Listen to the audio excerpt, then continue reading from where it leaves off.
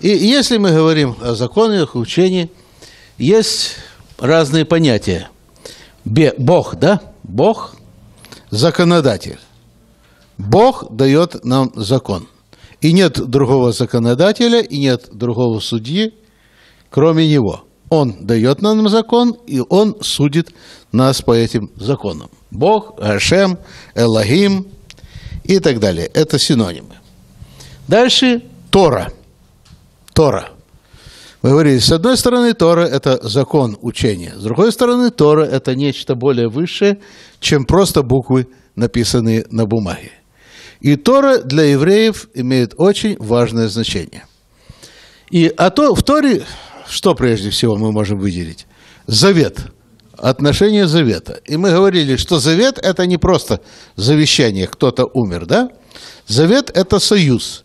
На иврите слово «завет» как будет? Брит, да? Вот, например, два государства имели название Брит. Брит Хамуацот – это Советский Союз. Или, да, э, Союз, опять-таки, Завет переведено, Брит Хамуацот. Э, значит, э, то есть, как сказать, Союз советников, да, можно так перевести. Вот. А другое Арцот Абрит. Страны Завета, потому что штат – это страна, да? Вот, что, э, страны Завета. Арцот говорит. Завет – это намного выше, чем просто какой-либо договор, который написан на бумаге, да? Договор, он может быть разрушен, а завет, он что? Вечно. Мы разберем более подробно эти отношения завета. Дальше. Кроме того, что здесь заветы, здесь есть конкретные законы – для исполнения. Значит, Тора, можно э, сказать, что ее составные части – это завет, прежде всего, и законы. Законы, которые мы исполняем, они входят в условия этого завета, правда? И даже если мы не верны, то завет э, разрушается или Бог остается верным ему? Бог остается верным этому завету. Но законы Торы, они необходимы нам. И законы Торы, если мы их соблюдаем и идем по этим пути закона Торы, это есть Галаха, да? Но кроме того, есть традиции, которые имеют некоторое отношение к законам Торы, но они не являются законами Торы, правда?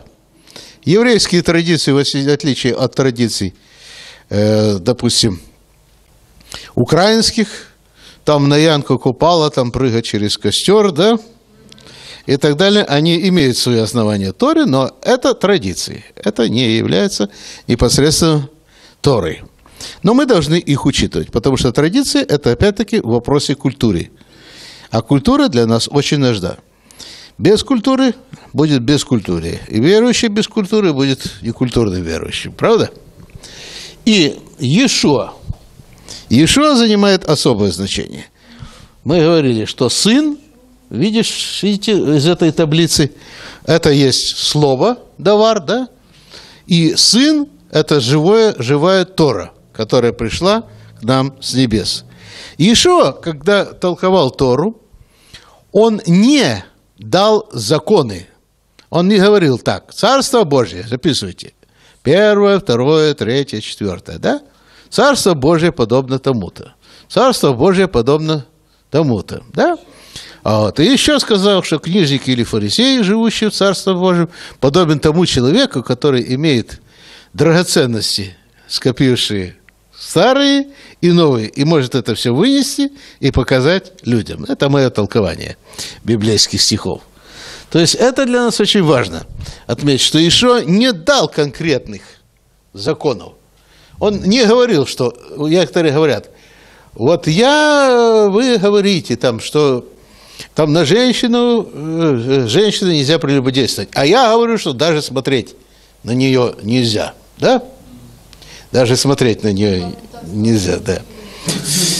Но это, это не новый закон. Это есть более этическое, углубленное понимание старого закона. Это пример толкования закона. Единственное место, где Ишуа сказал, я вам даю новый закон, да, он сказал, любите друг друга, как я возлюбил вас. И то же самое Иоанн пишет, что это заповедь новая, которая, хотя и не новая, дана нам от начала, да, это заповедь любви.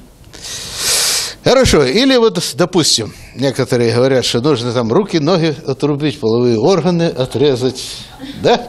Кондратий Селиванов. Да. Вот, ну, некоторые так напрямую и делали. Если там глаз, то решит, выколи его, да? Если руку, то отруби. Я, кстати, когда изучал Тору, единственное место я нашел, где рубили евреи руки. Нашли это место? Это женщина, легкомысленная женщина, которая на иврите называется еврейским словом легкомысленная, шалава, которая хватает мужика за половой член. И вот такой женщине надо рубить руку, правда? Вот, так что это тоже можно. Э, вот это интересно, я раньше тоже этого не знал, пока не нашел это место. Действительно, это единственное место, где евреи рубили руки. В остальных случаях там руку за руку, там глаз за глаз, око за око, это не имело в виду прямое отрубливание рук, а имело в виду компенсацию чтобы вы это понимали. Ни разу такой закон не был применен, чтобы кому-то рубили руку. Ну что там будет? Вместо одного будут двое без рук их, правда? Вот. А будет компенсация. Это то, что сейчас говорят страховка. Страховка, она тоже еврейское изобретение. Хорошо. Итак, Ишуа не давал новых законов, да? Но он дал образец, как мы в Новом Завете можем понимать старый закон. Это запишите, это для нас очень важно. И мы говорим, что есть Дух Святой. И Дух Святой дает нам откровение, апокалипсис, да? Дает нам откровение и дает нам возможность сосредоточения вот, на Боге. Поэтому есть разные приоритеты. Ну вот если мы посмотрим в Танахе, это я вам даю по Дэну Частеру, есть такой приоритет. Первое место занимает Бог, Элохим, потом его Тора, потом Тора понимается в концепции Завета – Затем идет Галаха, буквально путь. Значит, приоритеты. Первое – Бог, второе – Тора, третье – Завет, четвертое – да, Галаха или путь. Ну, у равенов Галаха становится буквально на первое место. И Тора занимает место Бога. Вы знаете, что равены многие атеисты. Такая система толкования – Торы без Бога, она развилась именно в раввинистическое время. Помните, был один равен, э, который сказал, ну, если я прав, если Тора со мной, да, вам это мы рассказывали, то пусть э, вот это дерево пересадится с одного места на другое. Дерево пересадилось, но равины ему не поверили. Там пусть ручей посечет другую сторону. Равины ему не поверили. Он сказал, пусть стены синагоги рухнут, но они не рухнули, а наклонились. Потому что другой равен сказал, чтобы они выпрямились. Они так и не выпрямились, остались в наклону. В конце концов, с неба голос Раби Гоша всегда прав. Они говорят, Тора не на небе, а на земле. Все. Что бы от этого Бог не говорил, с этого момента они заменили Тору своей мудрости. Итак, видите, у них Тора – заняло место совершенно, место Бога. Бог оказался вообще ненужным. Тора, затем размышления о Торе, и традиция, и все это дает устную Тору. И Талмуд, устная Тора, она оказалась в конечном счете для них выше письменной Торы, да? И если вы придете к какому-нибудь раввину, он, скорее всего, откроет Талмуд или Шулхан Арух, помните, мы говорили об этой книге, и будет уже толковать ваш вопрос по этой книге. И часто он даже в Тору и не будет заглядывать. Тем более не будет он искать откровение Божие. В то время как сам Маше, вы помните, при спорных вопросах, он не бежал там в Тору смотреть свои записи, да, а лично вопрошал Бога. Поэтому очень важно, да? В Новом Завете Бог Элохим Отец, Дух Святой, да? А затем Тора. Бог Элохим, Отец, Ишуа, потом Дух Святой, а потом Тора. То есть Тора открывается через Сына и Духа Святого, правда? Вот. Есть другое понимание, которое бывает у некоторых. Отец, потом Тора, потом раввинистические традиции – а уже потом Иешуа, а потом Дух Святой. И это бывает иногда у некоторых мессианских евреев. Это очень плохо, да? Поэтому я говорю, что раввинистические традиции, они хороши, но они для нас имеют только консультативный такой характер. Мы можем посмотреть и можем почитать, что говорит об этом Талмуд, но это не является для нас законом. В христианстве идет другая. Ишуа, прежде всего, Иисус, потом Отец, потом Тора, а потом церковные традиции. Даже у пятидесятников часто, вы знаете, они очень мало говорят об Отце, вот, ну, немножко говорят о Духе Святом, когда это вопрос считается крещение Духа Святым, но Иисус. Есть даже такие пятидесятники-единственники, которые только признают Иисуса. Они не признают Старый Завет. Вот, э, это был такой Давид Уршан, проповедник, который приехал в начале 20 века, кто знает эту историю, да, сирийский, да. Вот, то есть, опять-таки, уклон идет совершенно в другую сторону, да? Ну, я, я Иешуа себя выше отца никогда не ставил, правда? Отец, Иешуа, да? И Дух Святой, которые дают нам Тору. Так в Новом Завете. Но некоторые ставят Иешуа, потом ставят Отца, потом Тору, а потом церковные традиции. Вот, к примеру, у пятидесятников не пить вина. Это что, церковная традиция? Но они почему-то делают это обоснование какое-то теологическое. Теологического обоснования это абсолютно никакого нет. Так же, как нет теологического обоснования соблюдать воскресенье. Я не против того, чтобы соблюдать воскресенье, пожалуйста. Я верю, что суббота – это день для евреев, это священный и отделенный день, и благословен Господь. И что еще субботу не отменял. Но если я почитаю воскресенье Иешуа и праздную воскресенье, это хорошо, это нормально. Но опять-таки теологического основания для переноса никакого нет, да? Некоторые думают, что мы должны делать только то, что записано в Торе. А если не записано в Торе, но мы очень хотим это делать, то мы находим этому обоснование. Понимаете? Так не должно быть.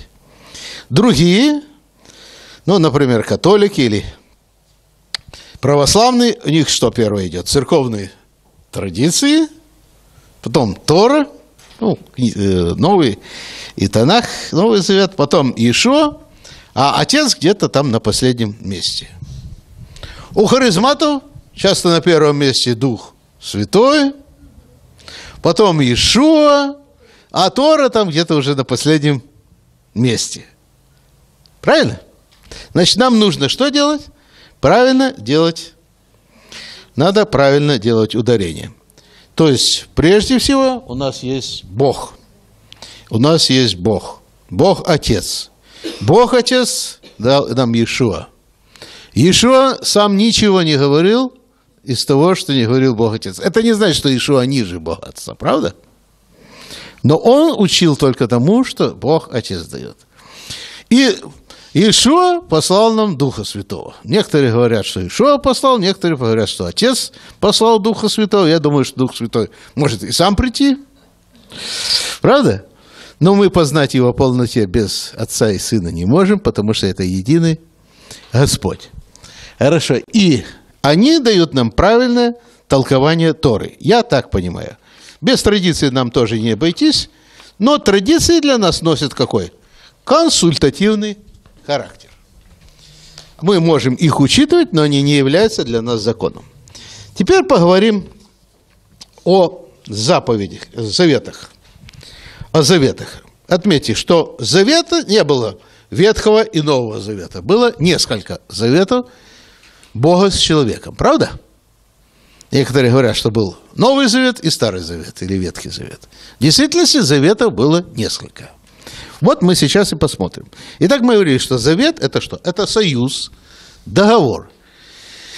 И этот договор отличается от обычного договора, который заключают договаривающиеся стороны у нотариуса. Потому что одна из сторон этого договора вечна и неизменна. Поэтому любой из этих договоров носит вечный характер. Может быть, вам будут э, учителя говорить, что следующий завет отмеч- отменяет предыдущий, но я вас буду учить так. Ни один, запишите, ни один из последующих заветов не отменял предыдущего, но дополнял, совершенствуя отношения между Богом и человеком, поднимая их на новую ступень. Ни один из последующих заветов не отменял предыдущего. Но что делал? Дополнял, совершенствуя отношения между Богом и человеком и поднимая их на новую ступень. Ну, первый завет, как вы знаете, это завет с Адамом. Он основывался на письменной Торе или на устной Торе? Ну, была дана устная Тора. Да? Первая заповедь – плодитесь, размножайтесь. Это заповедь о супружестве и деторождении. И некоторые думают, что она была дана после изгнания из рая, но в действительности она была дана в первый день жизни человека. Да? Согласны? Хорошо. И Адам и Ева, я лично верю, что они выполняли супружеские обязанности с первого дня. А вот ребенок был зачат и родился уже после грехопадения. Я лично так верю, что Адам и Ева были мужем и женой с первого дня, как Бог сказал им, плодитесь и размножайтесь. Никто не знает, сколько прошло времени э, до согрешения Адама. Это мое личное мнение, понимаете? Прошел ли это один день или это прошло тысячи лет, мы не знаем. Да? Мы знаем, что с момента грехопадения, да, вот тогда уже родился человек. И Адаму сколько было? 130 лет, да? Но я лично верю, что супружеские отношения, вот, они именно были какие? С первого дня. Ну, это я верю.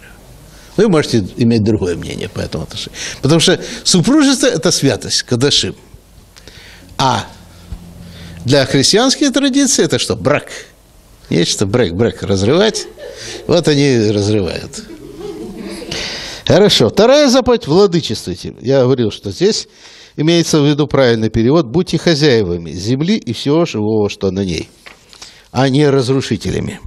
И третье, да, не ешьте с этого дерева. Конкретно Бог показал с какого. Я думаю также, что в заповедь и завет с Адамом вошла также суббота. Об этом прямо не говорится. Но праздновал Адам субботу? Да, потому что Бог благословил день и осветил. И если бы это не было важно для Адама и для его потомков, Библия бы об этом, скорее всего, не упоминалась. И когда этот завет был нарушен, были даны обетования Адаму, восстановление через семя жены. И вы помните, была принесена первая жертва. И правила принесения первой жертвы тоже вошли в устную Тору. Второй завет – это завет с Ноем. Ной, Ноах, он представлял все человечество, которое существовало в то время. Правда? Итак, э, да, первого завета была кровь пролита. Была пролита кровь животных, которых сам Бог, я верю, принес в жертву. Когда мы говорим о завете с Ноем, говорятся о семи заповедях. Некоторые там более прямо даны, некоторые даны косвенно, но в еврейской традиции говорят о семи заповедях. Первое. Это звучит так, не отрицать Бога. Или некоторые традиции в переводе говорят не проклинать Бога. То есть запрещение идолоязычества, да? Запрещение идолу и запрещение язычества. Первое – не отрицать Бога. Или э, не отрицать Бога. Да, второе – не проклинать Бога. Проклинать что значит? Проклинать значит понижать значение Бога. Или хулить Бога. Значит, первое – не отрицать Бога, запрет идолопоклонства. Второе – не проклинать Бога. Я там оговорился, я сейчас исправляю. Отметили, да? да. Это два разных пункта. Третье – не убивать. Не убивать. Имеется в виду не, не убивать вообще, а имеется в виду преступление убийства. Вы знаете, что в новом, э, что в десяти э, заповедях тоже там сказано, да, лонерцах, то есть не совершает именно преступление убийства. Дальше. не вступать в запрещенные сексуальные отношения. Ну, какие сексуальные отношения запрещены? Об этом уже было более подробно дано в Моисеевом завете, правда? Вот, это между братом и сестрой, это матерью и сыном. Вы знаете, между отцом и дочкой, или отцом и невесткой, да? И такие вещи иногда творятся в обществах, даже в развитом культурном, цивилизованном американском обществе. То есть не вступать в запрещенные сексуальные отношения. Кроме того, запрещенные сексуальные отношения – это скотоложество, да, да, мужеложество и так далее. Четвертый пункт – не красть. Пятый, да, пятый – не красть. Пятый – не красть. Шестой пункт, там немножко по-разному трактуется. Там не, есть, некоторые говорят, не есть части от живого животного, а другие говорят, что нельзя принимать пищу кровь и есть мясо от неубитого животного. Ну, как вот, допустим, отрезать ногу от козы, не убил ее и съесть. Или когда мы нарушаем эту заповедь. Вот если некоторые едят устриц. Устриц, да? Не есть живого, да? Вот. Или не есть части животного, или не есть крови. Потому что есть разные толкования. И последнее, значит, установить суды для наблюдения за выполнением основных заповедей. Это Вавилонский Талмуд, Сангедрин 56а. Это по Вавилонскому Талмуду, Санхедрин 56а. Семь заповедей Ноя. Да, теперь смотрите, когда шел вопрос, да, шел вопрос в 15 главе Деяний о том, да, о чем шел вопрос? О том, что нужно делать в церкви? Ну, еще раз говорю, помните, я еще раз говорю, здесь не идет вопрос о том, что нужно и не нужно делать в церкви. Здесь только вопрос идет о тех язычниках, или, как говорим, не евреях, гаим, правильнее сказать, которые присоединяются к евреям, да? К еврейской мессианской общине, то им не надо было делать следующее. Воздерживаться от идола жертвенного. Это какая заповедь? Соответствует первой заповеди. Ну, вопрос второй заповеди проклинать Бога не шел вопрос. Правда? Кто-то из язычников, из Гаим церкви хотел проклинать Бога? Нет, но в идоложертвенном так или иначе они участвовали, потому что они были составной частью этого общества. Затем им пришлось от этого отказаться. И потом некоторые настолько боялись, что, не дай бог, мы съедим какое-то мясо от идолов. Да? У них тоже возникали такие проблемы. Итак, первое – воздержится от идола жертвенного. Здесь не говорится, что если случайно на базаре что-то там съел, вот, а говорится о участии в идоложертвенном. От крови, кровь, это может быть пониматься так, да, либо это нельзя есть кровь, либо кровь в смысле убийства, то есть не убивать, да? Это будет соответствовать третьей или шестой заповеди. Удавленины, это шестая заповедь, не есть кровью, да? Блуда – это четвертая заповедь, ну и не делать другим того, чего вы себе не хотите. Это заповедь Гелеля, принцип Гелеля. Соблюдая это, хорошо сделайте, будьте здоровы. То есть мы видим, что этот э, собор, говорят, Первый Иерусалимский собор, он что фактически подтвердил? Семь заповедей Ноя, да? И ничего нового он для них не сказал. Но это не значит... Дайте мне воды. Пусть вода мне все время будет. Но это не значит, что евреи должны отказаться от всего еврейского, да? Вы понимаете это.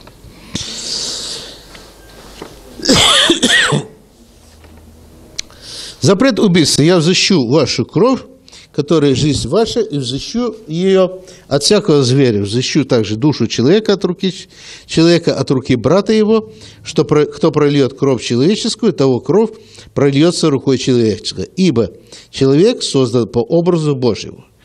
Итак, какая основная причина запрета убийства? Потому что человек создан по образу Божьему. И если мы убиваем человека, мы убиваем Бога, который в этом человеке, да? Люби Бога в человека, которого Он создал. Итак, только Бог может отнимать у человека жизнь. Хотя есть некоторые законы, которые говорят о смертной казни. Но эта смертная казнь – это не убийство, а есть выполнение законов Божьих. Есть несколько вещей, несколько видов убийства, которые не являются преступлением убийства. Ну, например, запрещено самоубийство, да? Но есть самоубийство и самопожертвование. Если ты жертвуешь, да, ради своей жизни, помните, ради жизни других людей. Э, пример, опять же, из 17 мгновений весны. Там профессор Плейшнер принял яд и выбросился из окна. Является ли это самоубийством? Это было самопожертвование, потому что он знал, что он выдаст других людей. И это, безусловно, было самопожертвование. Или самопожертвование в результате хвалы, э, чтобы э, прославить имя Божье, да? Поэтому есть э, разрешение на отмет абсолютно всех заповедей. Абсолютно всех заповедей, если есть угроза жизни человека. Даже если есть такая угроза, мнимая угроза. Ну, например, в субботу э, нельзя копать землю, да? Но если случилось землетрясение, и мы видим развалины, и мы не знаем, лежит под ними человек или не лежит, что мы должны думать? Мы должны думать, что под ними лежит человек. И должны копать. То есть в данном случае суббота отменяется. Но есть только три вещи – который человек ни в коем случае и никогда не должен делать. Правильно? Это какая? Не хулить Бога. Вторая, не вступать вот в эти другие всякие половые отношения, которые запрещены Богом. И третья заповедь – это не убивать. То есть, если тебе скажут, мы тебя убьем, если ты убьешь, э, не убьешь этого человека, то ты не должен его убивать. Или скажем, мы убьем твоих близких, а потом будут тебя еще обвинять, вот это из-за тебя мы их убили. Практика показывает, что они и так, так тебя убьют. В общем, у евреев было много способов убедиться, правда? Поэтому евреи говорят, что в таком случае ни в коем случае нельзя убивать. Но если речь идет о самозащите, а война является одной из Э, ситуации самозащиты, ну, допустим, э, многие баптисты или пятидесятники не брали в руки оружие, э, чтобы не участвовать в Отечественной войне. Да? Гитлер напал на Советский Союз. Правильно они поступали? Я считаю, что они поступали неправильно. Вот если в афганской войне, да, потому что афганская война несправедлива. Знаете, есть преступления военные, да, вот есть военные преступники, и есть такое понятие, как преступный приказ. В армии Соединенных Штатов Америки этому посвящают специальные э, семинары, и офицеры там знают, что нельзя выполнять преступные приказы. У нас таких семинаров не проводят среди военных. Да. Поэтому может быть верующий военным человеком. Может. Вот, помните, когда приходили солдаты и спрашивали Иоанна Крестителя, что нам делать.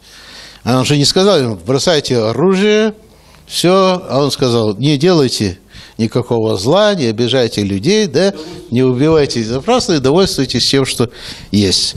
Чтобы вы понимали. Второй э, случай убийства, да, итак, первый случай – это самоубийство, самопожертвование или э, хвала Богу, воздание хвалы Богу через самопожертвование.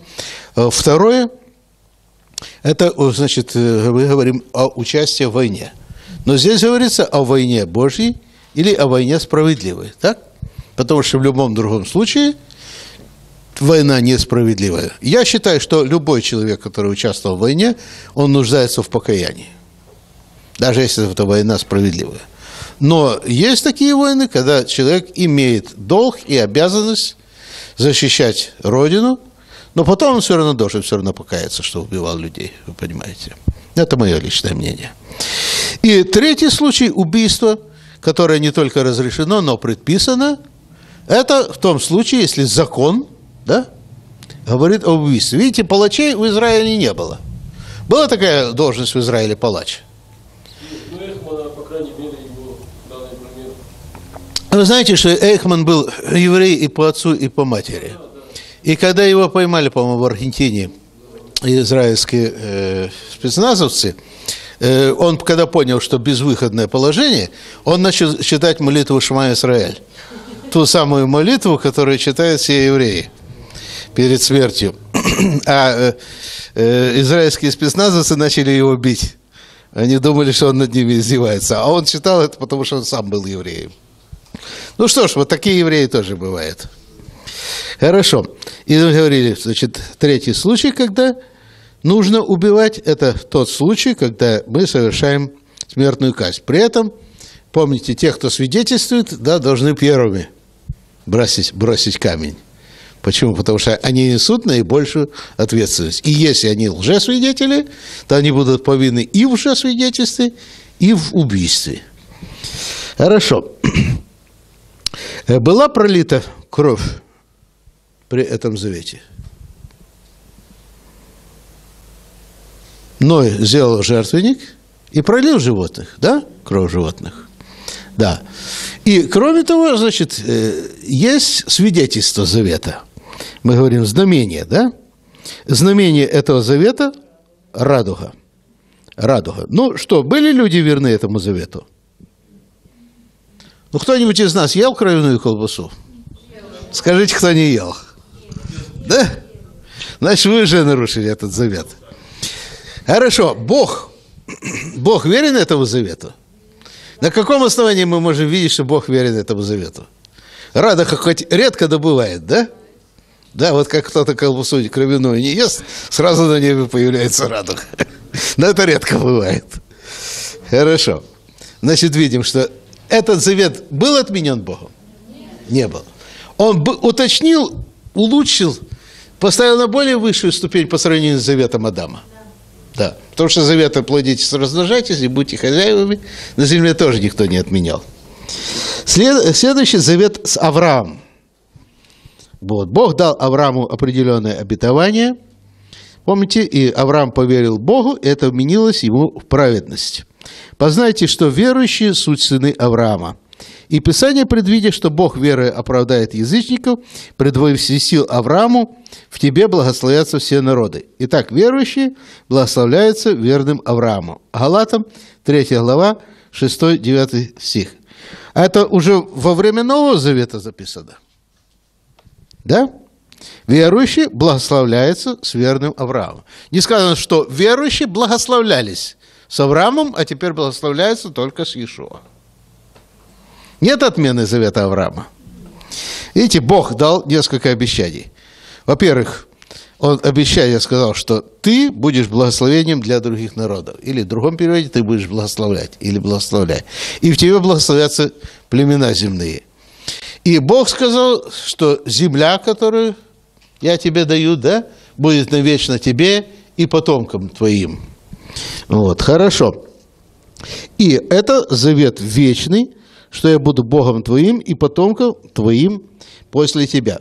Где-то есть в Библии место о том, что Бог отменил завет с Авраамом. Нигде такого места нету. И Павел говорит, что завет Авраама продолжает действовать. Галатам 3 глава, 8, 6, 8 9 стих. Мы уже говорили об этом, да? Что верующие благословляются с верным Авраамом. То есть завет Авраама – это вечный завет. И еще Бог говорит Исааку, умножу потомство твое, как звезды небесные, и дам потомству твоему все земли зии, и благословят всеми твоим все народы земные.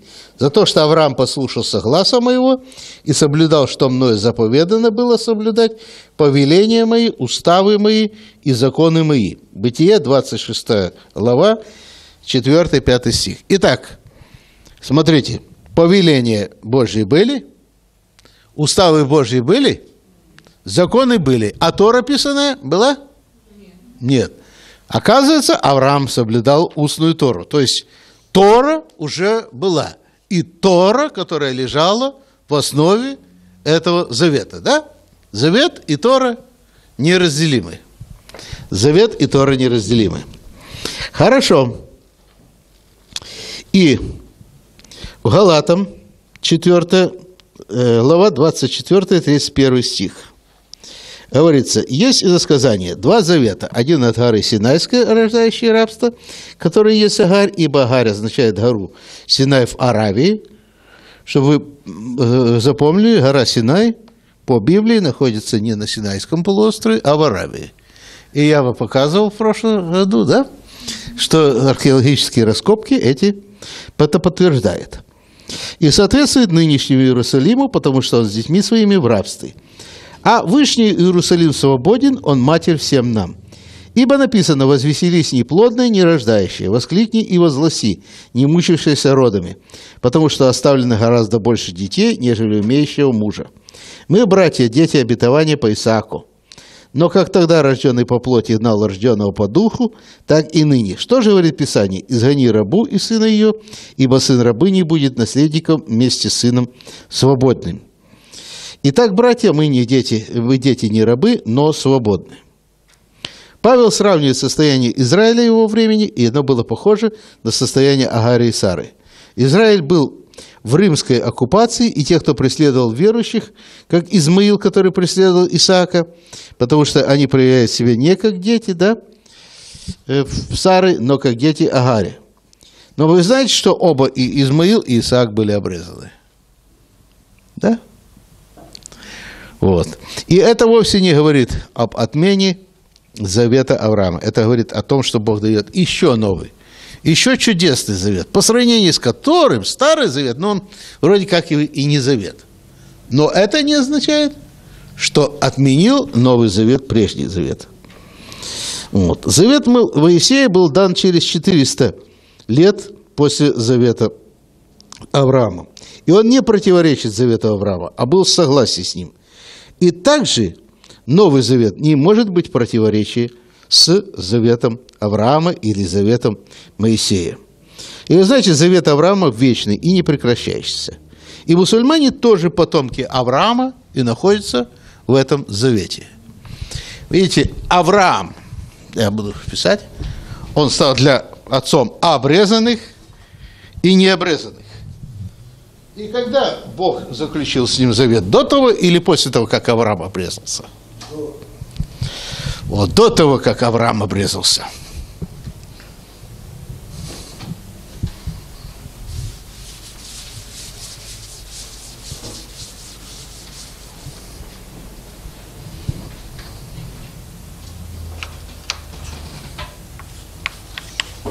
Авраам – до обрезания и после обрезания, да? Смотрите, до обрезания было дано обетование, что Авраам станет отцом кого? Многих народов. Гоим.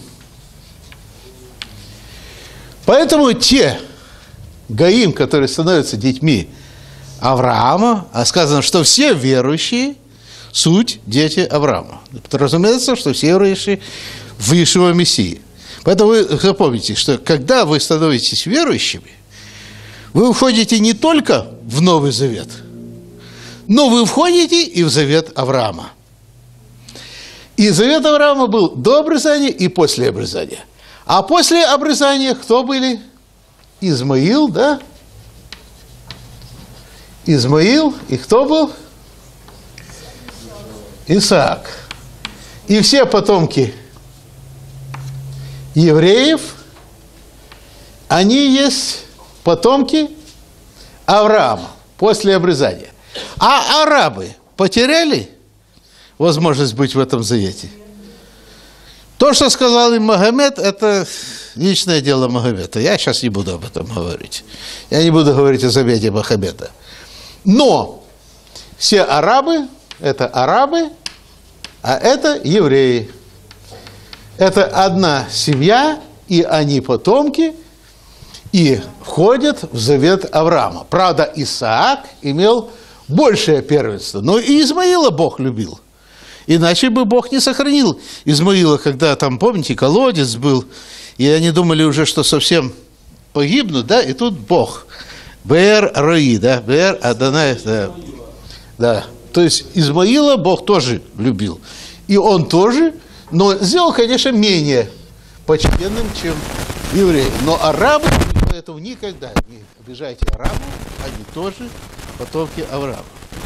Теперь есть, которые присоединяются к завету Авраама. Гаим, которые присоединяются к завету Авраама, они обрезаются? Они не обрезаются, потому что Бог обещал Аврааму да, в необрезании. Поэтому они не должны обрезаться. Но если кто-то присоединяется к евреям и хочет стать еврейской общиной, он обрезается. Были многие, которые присоединились к евреям, правда? Эфиопы, они не по крови евреи, но фалаши. Или те же самые караимы, были еще в Средней Азии государства, которые присоединялись к еврейскому завету. Да? Хорошо.